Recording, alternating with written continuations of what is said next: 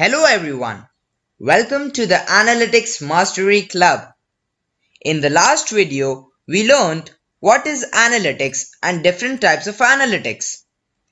Objective of this session is to explain how analytics is classified basis type of solutions and business problems solved by it. Six most important classifications of analytics are as follows. Firstly, customer analytics. Customer analytics is analysis of customer transaction and customer behavior to identify, attract, and retain most profitable customers. Customer analytics also involves segmentation of customers into different category and finding customer lifetime value. For example, transaction done by customer on Amazon is analyzed to determine most loyal and profitable customers. Based on customer purchase, Amazon suggests next best product to that customer. Secondly, sales analytics. Sales analytics is analysis of data to track how your sales process and representatives are performing. For example, sales analytics involves tracking number customers visited and converted, value per conversion, upselling and cross-selling done to customers. Moving on, the third classification of analytics is marketing analytics. Marketing analytics involves the technologies and processes marketers and brand managers use to evaluate the success and value of their efforts.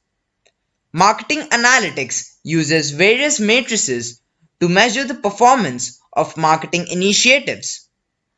For example, marketing manager of Coca-Cola launches some campaign.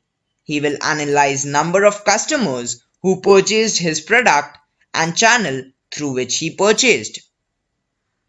Fourthly, supply chain analytics. Supply chain analytics is the use of data in the design, planning and management of the supply chain.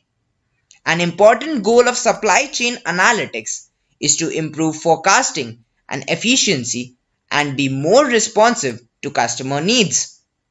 For example, forecasting of sales done in supermarket involves use of supply chain analytics. Fifth, risk management and analytics.